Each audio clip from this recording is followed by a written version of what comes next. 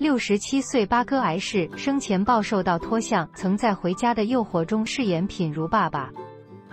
二月十六日晚间，据台媒报道，资深演员八哥先生因为胰脏癌扩散，于当晚在台北长庚医院去世，享年六十七岁。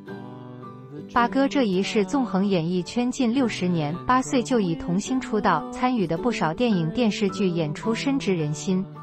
全盛时期的八哥曾跟林青霞合作出外景，旧照中两人远赴法国取景，八哥还把女神林青霞抱起来，羡煞不少男性粉丝。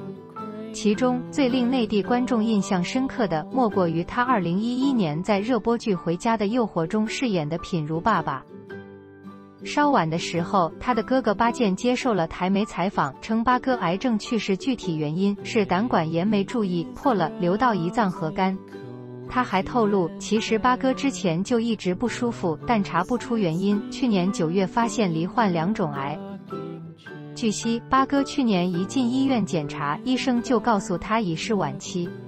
八哥得知患癌后，表现出坚强的意志力，决定乐观以对。